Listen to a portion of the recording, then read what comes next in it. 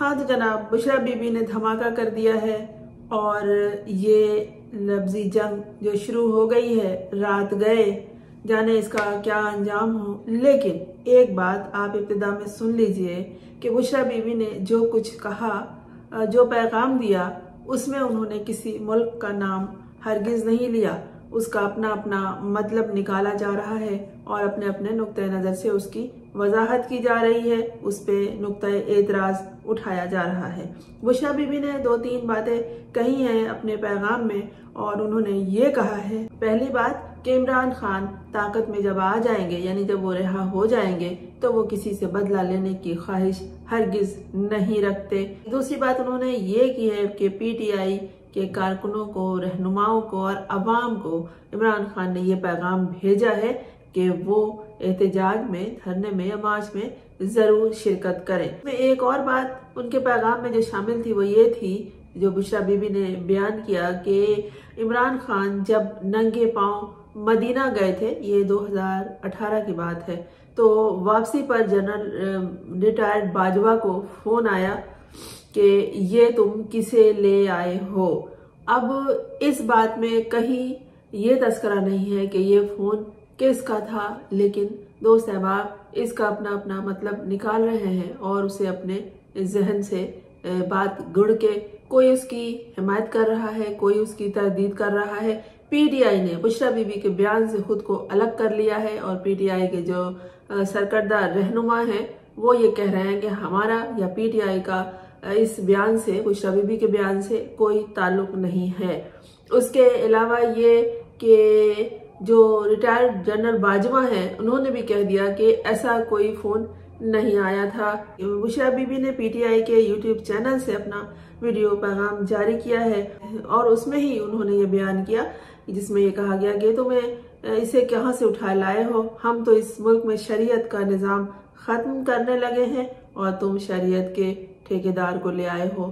ضروری نہیں ہے کہ یہ بات سعودی عرب کے کسی سرکردہ شخصیت نے کی ہو ہو سکتا ہے۔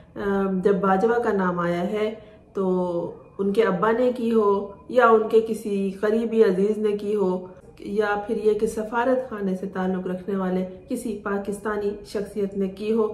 لیکن یہاں نام سعودی عربیہ کا آ رہا ہے اور کہنے والے کہہ رہے ہیں کہ اس طرح دو ممالک کے تعلقات کو خراب کرنے کی بات ہو رہی ہے۔ لیکن اگر آپ بشرا بی بی کی زبان سے ادا کیے ہوئے الفاظ پہ غور کریں، تو وہاں انہوں نے کسی طرح کا کوئی نام نہیں لیا۔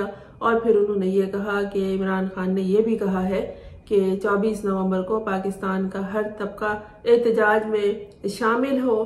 اور انہوں نے ہر طبقے کو احتجاج میں شرکت کی دعوت دی۔ اور انہوں نے وکیلوں سے بھی درخواست کی ہے، عام لوگوں سے بھی کی ہے کہ وہ عمران خان کا اس وقت ساتھ نبھائیں اور ان کی آواز پر لبیک کہیں دھرنے میں شامل ہوں، تبھی چوبیس نومبر کو پاکستان کی تاریخ تبدیل ہو سکتی ہے۔ اور جو مظاہرہ ہوگا یا مارچ ہوگا، وہ مکمل طور پر پر امن ہوگا۔ نہ کسی پہ ظلم کیا جائے گا، نہ ظلم سہا جائے گا۔ لہذا کسی پرچہ کاٹنے کی بھی کوشش نہ کی جائے۔ تمام باتوں کو ایک طرف رکھ دیں، لیکن اس میں جو اعتراض کا پہلو تھا، لوگوں نے اسے اٹھا لیا ہے اور اسی کو بڑھا چڑھا کر بیان کر رہے ہیں۔ کوئی تردید کر رہا ہے، کوئی دو ممالک کو لڑانے کی بات کر رہا ہے اور کوئی بشا بی بی سے چڑ رہا ہے۔ بشا بی بی نے آگے جو بات کی، وہ یہ بھی کی ہے کہ عمران خان کو یہودیوں کا ایجنٹ کہنا شروع کر دیا۔ ان لوگوں نے حالانکہ اس طرح کی بات عمران خان نے کبھی سر عام نہیں کی اور یہ باتیں اگر غلط ہوں، جو کہ یہ بشا بی بی بتا رہی ہیں کہ اگر یہ باتیں غلط ہوں تو سابق آرمی چیف سے اور ان کے اہل خانہ سے پوچھا جائے، کیونکہ عمران خان کو یہ باتیں کسی نے بتائی تھی کہ باجوہ کے پاس فون آنے لگے کہ اس کو کہاں سے لے آئے ہو۔ اس لیے کہ عمران خان نے جب مدینہ میں قدم رکھا تھا تو یہ وہاں ننگے پاؤں چلے تھے۔ یہ ننگے پاؤں چلنے کا مقصد ہوتا ہے اظہار عقیدت اور والہانہ محبت اس ہستی سے جس کی وہ سرزمین ہے، جہاں کی فضاؤں کو، ہواؤں کو ہم لوگ اپنی سانسوں میں بسانا اور اس وہاں کی فضاؤں میں سانس لینا والہانہ عقیدت کے انتہا سمجھتے ہیں۔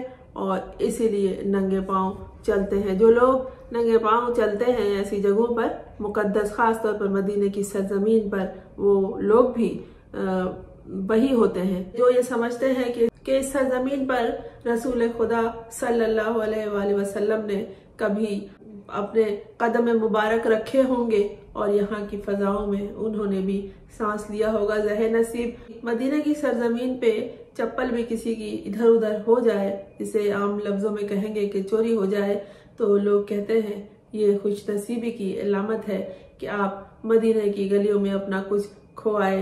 اس کا مطلب یہ ہوا کہ بہت کچھ وہاں سے لے آئے۔ والہانہ عقیدت اور محبت کا یہ اظہار تھا۔ عمران خان جب مدینہ میں چلتے رہے تو وہاں انہوں نے پاؤں کو ننگا رکھا۔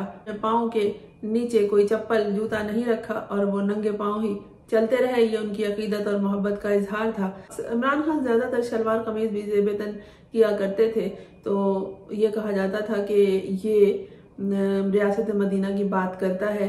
تو وہی یہ بات ہو رہی تھی جو بشا بی بی نے اس کی نشاندہی کی کہ یہ باتیں یقیناً بشا بی بی کے سامنے ہوئی ہوں گی یا عمران خان نے انہیں تذکرہ کر دیا ہوگا کہ دیکھو لوگ کس طرح سے بات کرتے ہیں، تو انہوں نے آج بیان کر دیا ہے۔ اب اس پہ احباب نے چائے کی پیالی میں طوفان اٹھا دیا ہے۔ بات طوفان اٹھانے کی نہیں ہے، کیونکہ اپنا اپنا نقطہ سب نکال لیتے ہیں۔ وہاں پہ سعودی عرب کی بات تھی، نہیں نہ ہی کسی شخصیت کا تذکرہ تھا، صرف تھا تو ریٹائرڈ باجوہ کا۔ اور باجوہ صاحب نے اس کی تردید کر دی ہے کہ میرے پاس کسی کا فون نہیں آیا۔ اور بشا بی بی نے یہ بھی کہا ہے کہ ان کے اہل خانہ سے پوچھ لیا جائے کہ کس کا فون آیا ہے۔ بات انہی کے ذریعے پہنچی ہے۔ بہرحال دیکھتے ہیں آگے کیا ہوتا ہے۔ لیکن کچھ لوگوں کی کثیر تعداد کا یہ کہنا ہے کہ پی ٹی آئی کو اس بیان سے فائدہ ہوگا، کسی کو یہ کہنا ہے کہ اس سے نقصان ہوگا۔ لیکن جو حزب مخالف ہے، پی ٹی آئی کے جو مخالفین ہیں اور وہ جو بڑے بڑے لوگ اس وقت لوگوں کو تکالیف پہنچانے، اکھاڑنے، پچھاڑنے میں لگے ہوئے ہیں اور جو بیانات داغنے کے لیے ہر وقت موجود رہتے ہیں، انہیں ایک نقطہ مل گیا ہے اور اس میں وہ سعودی عرب کے نام کا اضافہ کر رہے ہیں۔ حالانکہ وشا بی بی نے یہ نام نہیں لیا۔ اب ان کا بیان سنیے گا۔ آن جب سب سے پہلے ننگے پاؤں مدینہ شریف گئے تھے، تو جب وہ واپس آئے تھے، تو فوراً ہی باجوہ کو کال آنا شروع ہو گئی تھی کہ یہ تم کیا اٹھا کے لے آیا؟ ہم اس ملک میں شریعت کا نظام ختم کرنے لگے ہیں اور تم شریعت کے ٹھیکے داروں کو لے آئے اور ہمیں یہ نہیں چاہیے آپ یقین مانیے تب سے خان اور اس کی بیگم کے بارے میں بیگم کے بارے میں گن ڈالنا شروع کر دیا اور خان کو یہودی کا ایجنٹ کہنا شروع کر دیا۔ یہ میں صرف آپ کو اس لیے بتا رہی ہوں کہ یہ خان نے کبھی پبلک میں نہیں بتائی۔ اگر یہ بات غلط ہو تو پھر آپ باجوہ اور اس کی فیملی کو پوچھیں، کیونکہ باجوہ اور باجوہ کی فیملی نے یہ باتیں کسی کو بتائی تھیں جو خان تک پہنچی تھیں۔ بعد میں کیونکہ آپ کو پتا ہے کہ جب آپ اقتدار میں ہوتے ہیں تو ویسے بھی آپ کے جو ادارے ہوتے ہیں وہ آپ کو بہت سی رپورٹس دیتے ہیں۔ انہوں نے بھی خان کو یہ بتایا تھا کہ اصل کہانی یہ ہے